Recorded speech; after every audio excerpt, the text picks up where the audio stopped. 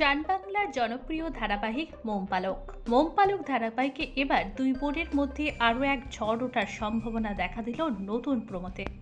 বিয়ের বিভ্রাট বেরিয়ে আস্তে আস্তে মোম এবং রমিত, রিজু ও পালক দুই দম্পতি স্বাভাবিক হওয়ার চেষ্টা করছে।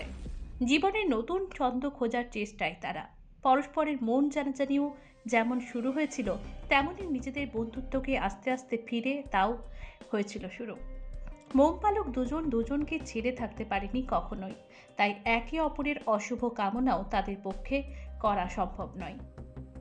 কিন্তু এবার তাদের শাশুড়ি দুই বোনের মধ্যে দেওয়াল তুলে দেওয়ার কাজ শুরু করল।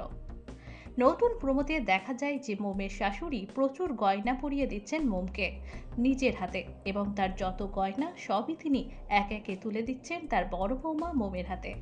কারণ মোম রমিতের বউ আর রিজু তার ছোট ছেলে। তাই সে পালককে বিয়ে করার কারণেই সেই অংশীদার পালক হতে পারছে না। অন্যদিকে পালক।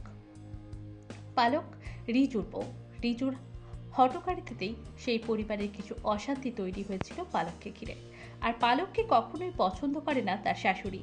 তাই এবার সমস্ত গয়না সে তুলে দিল মোমের হাতে, অর্থাৎ তার বড় বৌমার হাতে। পালক সবসময় ভালো চেয়েছে মোমের। কিন্তু এই পক্ষপাতিত্বের পর শাশুড়ির উস্কানিতে এবার কি তবে পালক আর মনের মধ্যে হিংসার বাসা বাঁধবে? পালকের মনেও কি বাসা বাঁধবে তাহলে হিংসার? আর এখান থেকে কি শুরু হবে দুই বোনের মধ্যে পাঁচিল ওঠা? সম্পত্তি, বিষয় নিয়েই কি তবে দুই জুটির মুখোমুখি দাঁড়াবে?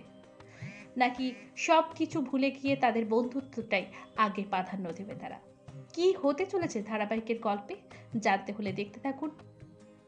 শান বাংলা চ্যানেলে জনপ্রিয় ধারাবাহিক মোম বালক।